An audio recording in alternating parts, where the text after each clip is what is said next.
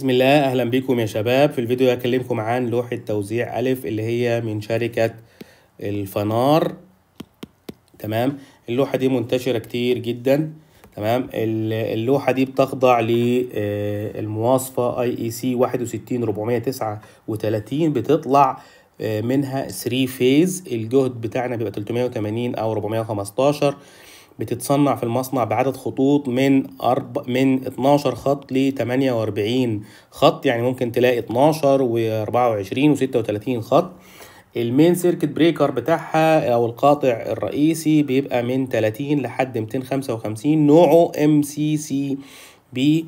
تمام molded case circuit breaker. والقواطع الفرعية ممكن تكون من 6 ل 63 أمبير في حالة ال MCB أو ال ERCB أو ممكن برضو من 6 لحد 36 تمام.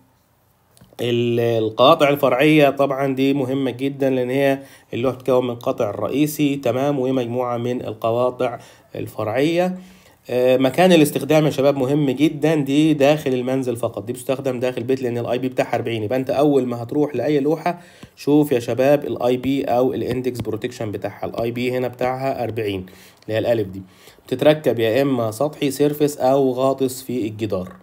اللون بتاعها 21 لون متوفر حسب الطلب. يبقى فيه منها ألوان مختلفة من شركة الفنار بتوفر لك ألوان مختلفة من هذه اللوحة واللوحة دي منتشرة كتير جدا في المشاريع في البيوت وهكذا. أشوفكم في فيديوهات تانية والسلام عليكم ورحمة الله وبركاته.